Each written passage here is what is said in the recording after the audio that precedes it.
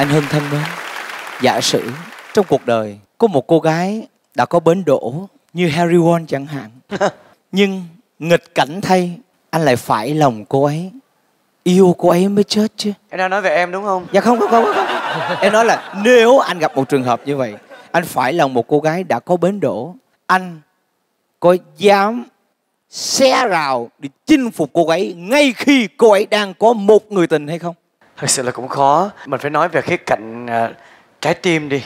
Mình sẽ làm tất cả những cái điều gì trái tim mình mách bảo. Nếu như cái tình yêu đó nó không có vị trí cho mình thì chắc chắn mình sẽ là người thất bại. Tuy nhiên mình phải được quyền thử. Hơn có một người bạn có người yêu này nha. Rất là thân hai người đang yêu với nhau. Có một người khác tới nói rằng là anh phải nhường cô ấy lại cho tôi. Có bao giờ trong đời anh đã từng làm điều này chưa? Chưa hơn làm lén lút thôi và thành công được bao nhiêu lần ạ? Vài lần. Vài lần.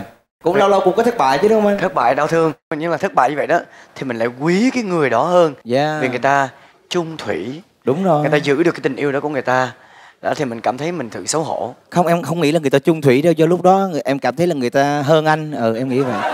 Thôi đừng có lái qua trường khác ha À. nha. Harry câu hỏi dành cho em là có một người soái ca như Mr. Đàm ông hoàng nhạc Việt mà yêu em em có bị lay động trong tình yêu đó hay không Anh ơi, em nghĩ là anh biết câu trả lời.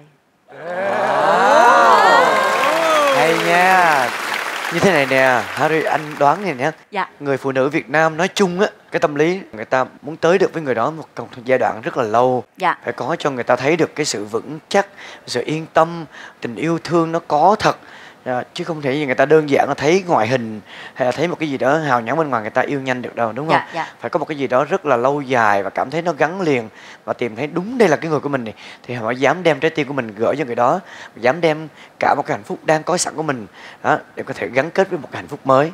Cái điều đó thì người giỏi lắm mới làm được chuyện đó hai em ha Dạ đúng rồi. thưa quý vị chúng ta tạm gác lại những câu chuyện về hột xoàn và danh vọng. Vâng